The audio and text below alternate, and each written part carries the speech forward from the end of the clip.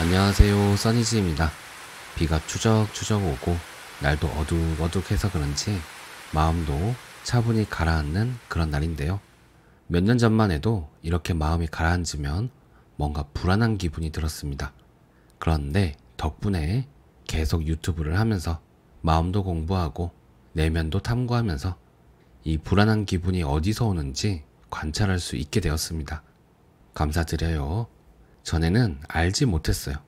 불안하면 그냥 왜 불안한지도 모른 채 불안하지 않기 위해 뭔가를 찾아서 불안을 덮어버리기 일쑤였죠.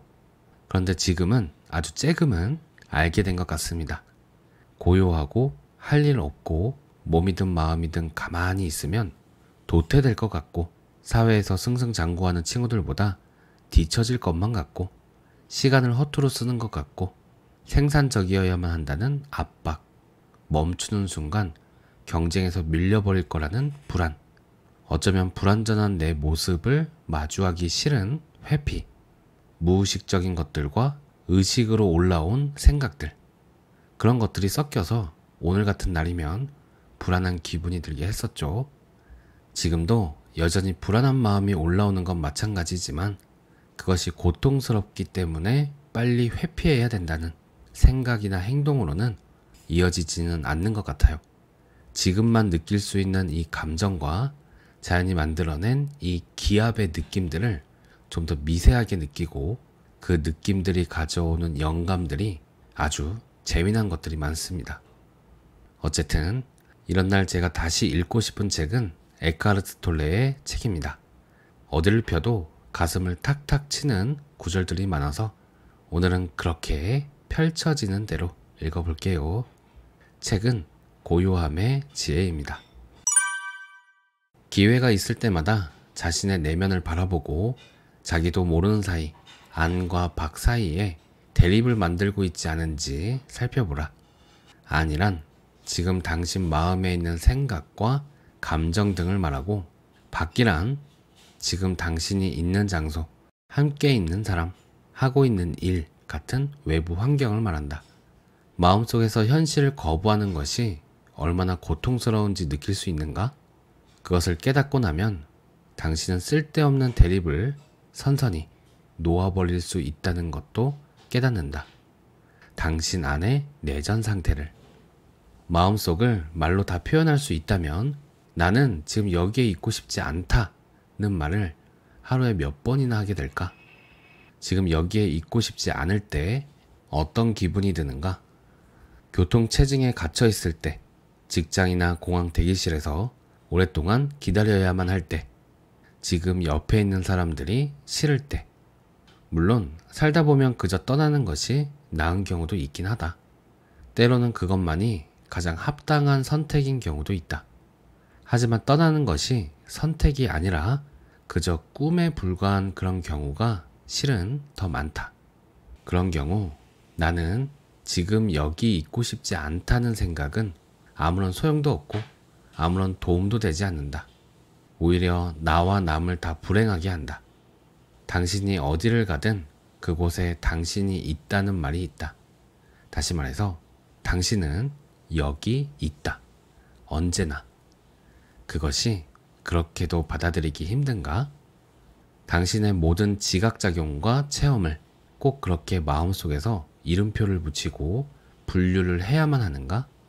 삶을 대함에 있어서 아주 좋아하거나 아주 싫어하는 대립적 반응을 반드시 해야 하는가? 그렇게 해서 당신에게 다가오는 사건이나 사람들과 끊임없이 갈등 관계를 이루어야만 하는가? 실은 그런 것들은 다만 마음의 습성일 뿐 한시라도 버릴 수 있는 것이 아닐까? 그렇게 하려면 무언가를 해야 하는 것이 아니다. 다만 이 순간을 있는 그대로 존재할 수 있도록 내버려두면 된다. 습관적이고 반발적인 아니오는 에고를 더욱 강하게 하는 반면 예는 그것을 약화시킨다. 형상의 정체성을 두는 에고는 당신이 지금 이 순간에 순응하는 순간 더 이상 살아남지 못한다. 당신은 말한다. 할 일이 산더미처럼 쌓였다. 그렇다. 하지만 당신이 하는 일의 질은 어떠한가? 일터로 차를 운전하고 고객과 대화하고 컴퓨터 작업하고 자질구레한 일을 처리하며 나날의 삶을 살기 위한 수많은 일들을 할 때 당신은 얼마나 전념하여 일을 하는가? 당신의 일은 순응한 것인가? 순응하지 못한 것인가? 그것이 바로 당신 삶의 성공 여부를 결정하는 요인이다. 노력을 얼마나 했느냐가 아니다. 노력이란 긴장과 스트레스를 수반하며 미래의 일정 지점에 도달할 필요성을 뜻하며 특정의 결과를 이루어야 함을 의미한다. 당신의 마음 속에 지금 하고 있는 일을 하고 싶지 않다는 심정이 조금이라도 있음을 감지할 수 있는가? 그것은 삶을 부정하는 일이므로 당연히 진정한 성공은 불가능하다. 마음속에 그런 심정이 있음을 감지했다면 즉시 그 마음을 버리고 지금 하는 일에 몰입할 수 있는가? 불교의 선사는 선의 정수가 무엇이냐는 질문에 한 번에 한 가지 일만 하는 것이라 말했다. 한 번에 한 가지 일만 한다는 것은 내가 하는 일에 몰입하는 것, 그것에 나의 온전한 마음을 다 주는 것을 말한다. 그것이 바로 순응하는 것이다. 있는 그대로의 현실을 받아들이고 수용할 때 깊은 차원에 도달할 수 있다. 그곳에서 마음은 더 이상 사고가 판가름하는 선과 악에 좌우되지 않는다. 삶의 현재성의 예라고 할 때 이 순간을 있는 그대로 받아들일 때 깊은 여유로움과 평화를 느낄 수 있다. 언뜻 생각하면 맑은 날에는 행복하고 비 내리는 날에는 별로 행복하지 않을 것 같다. 10억 원짜리 복권에 당첨되면 행복하고 전 재산을 잃으면 불행할 것 같다. 하지만 행복도 불행도 마음의 깊은 차원까지는 가닿지 못한다. 그것들은 다만 삶의 표면에서 떠도는 파문일 뿐이다. 내 안 깊숙한 곳에 존재하는 평화로움은 외부 조건이 어떻든 상관없이 늘 변함이 없다. 있는 그대로의 현실에 예라고 할 때 내 안의 깊은 차원의 세계가 모습을 드러낸다. 어떤 외부 조건에도 아무런 영향을 받지 않을 뿐만 아니라 사고와 감정이 파도처럼 출렁거리는 내부 조건에도 아무런 영향을 받지 않는 그런 세계가 내게 다가오는 모든 체험은 그저 잠시뿐이라는 것. 더불어 세상은 지속적인 가치를 지닌 그 어떤 것도 내게 줄 수 없다는 것을 깨달을 때 수능이 가능해진다. 수능한 사람이 그렇지 못한 보통 사람과 다른 점은 이전처럼 사람들을 만나고 활동에 몰두한다 해도 더 이상 에고가 흔드는 대로 욕망과 두려움에 지배당하지 않는다는 것이다. 다시 말해서 이제 더 이상은 어떤 상황에 처하거나 어떤 사람을 만나거나 어떤 장소에 있어야만 만족하고 행복하리라고 기대하지 않는 것이다. 그런 것들이 불완전하고 무상한 것임을 인정하고 수용하는 것이다. 그러고 나면 기적 같은 일이 생긴다. 불가능한 기대치를 버리는 순간 갑자기 모든 상황과 사람, 모든 장소와 사건이 두루 다 마음에 드는 것이다. 더불어 당신의 마음은 좀 더 조화로워지고 좀 더 평화로워진다. 지금 이 순간을 아무런 조건 없이 받아들일 때 있는 그대로의 현실과 더 이상 싸우지 않을 때 당신의 마음 속에는 생각을 해야만 한다는 강박관념이 줄어들고 그만큼 깨어있는 고요함이 늘어난다.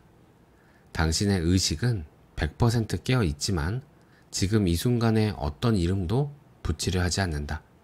이렇게 마음속의 저항을 다 내려놓을 때 생각하는 마음보다 무한히 더 크고 아무런 걸림도 없는 순수 의식이 열린다.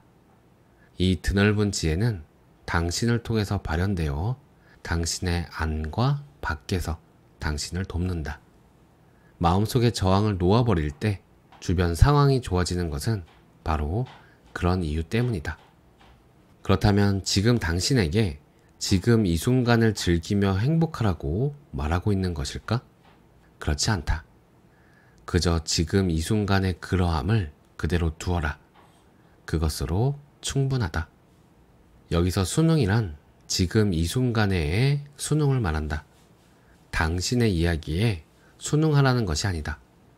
지금까지 당신은 이야기를 통해 지금 이 순간을 해석하고 그에 따라 삶을 살아왔다. 예를 들어 나에게 어떤 장애가 생겨 걸을 수 없게 되었다고 가정하자. 이 상황은 그저 상황일 뿐이다. 하지만 나의 마음은 나의 장애를 나름대로 해석하여 이런 이야기를 만들어낸다. 나는 결국 이런 꼴이 되고 말았어. 휠체어에 처박힌 신세라니. 너무나 잔인한 삶이야. 인생은 너무나 불공평해. 왜 나만 이런 비참한 꼴을 당해야 돼? 당신은 지금 이 순간을 있는 그대로 받아들이고 마음이 지어낸 이야기와 혼동하지 않을 수 있는가? 왜 하필 나야? 라고 대묻지 않을 때 수능이 온다. 가장 고통스럽고 받아들일 수 없는 상황 속에 가장 깊은 선이 감추어져 있다. 모든 재난 속에는 사랑의 씨앗이 들어있다. 역사를 돌이켜보면 커다란 상실과 질병을 겪은 사람들, 감옥에 갇혔거나 곧 죽음을 맞이할 사람들이 전혀 받아들일 수 없었던 것을 받아들이고 마침내 평화를 얻은 것을 볼 수 있다. 받아들일 수 없는 것을 받아들일 때 이 세상에서 가장 큰 사랑이 찾아온다. 살다 보면 어떤 답이나 설명도 전혀 통하지 않는 상황이 있다. 삶이 도대체 말이 안 되는 것이다. 때로는 고통받는 사람이 찾아와 도움을 청하는데 도대체 무슨 말을 해야 할지, 무엇을 해주어야 할지 도무지 모르는 경우도 있다. 하지만 내가 답을 모른다는 현실을 완전히 받아들일 때 나는 더 이상 나를 가두고 제한하는 생각을 통해 답을 찾으려고 애쓰지 않게 된다. 그렇게 현실을 완전히 수용해버리면 더욱 큰 지혜가 나를 통하여 작용할 수 있다. 이제는 생각을 하더라도 더 좋은 생각이 떠오른다. 더 큰 지혜가 생각 안으로 들어와 영감을 주기 때문이다. 수능은 이해하려고 애쓰는 마음을 거두고 모른다는 사실에 편안해지는 일이다. 혹시 당신의 주위에 자신과 남에게 고통을 주고 불행을 전염시키는 것을 즐거움 삼아 살아가는 사람이 있는가? 그렇다면 그를 용서하라. 그 사람도 인류가 깨달음으로 가는 대열의 동참자이다. 그가 맡은 역할은 에고에 갇힌 의식을 과장해서 보여주는 것. 순응하지 않는 마음이 어떤 것인지를 보여주는 역할이다. 그의 행동은 개인적인 것이 아니다. 그의 본래 모습은 그렇지 않다. 수능이란 저항이 수용으로 바뀌는 것, 아니오가 예로 바뀌는 것이다. 당신이 수능할 때 이전에 대립과 비판을 일삼던 에고는 이제 대립과 비판을 부드럽게 감싸 안는 공간으로 변화한다. 이전의 생각이나 감정처럼 형상을 지닌 것이 나라고 생각했다면 이제는 형상을 여인, 광대한 마음이 나라는 것을 아는 것이다. 무엇이든 저항 없이 온전히 수용할 때 평화는 찾아온다. 거기에는 내가 무언가를 받아들일 수 없다는 사실, 그래서 저항하고 있다는 사실을 수용하는 것까지도 포함된다. 삶을 내버려 두어라. 상관하지 말라. 오늘 내용은 여기까지입니다. 누군가에게는 한마디 한마디 가슴에 와닿는 말일 수 있지만 또 다른 누군가에게는 어찌 삶을, 가정을, 나라를 내버려 둘 수 있는지 이해가 안 가는 말도 안 되는 말이라고 생각할 수도 있다고 생각합니다. 우리는 각자 자신의 역할에 충실한 것 뿐이니 삶이 이끄는 대로 스스로를 믿고 오늘도 힘차게 혹은 힘 빼고 살아갔으면 좋겠습니다. 감사합니다.